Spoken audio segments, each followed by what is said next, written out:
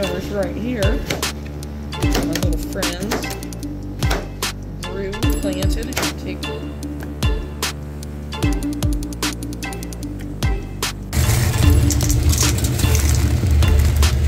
What do you think's gonna happen now?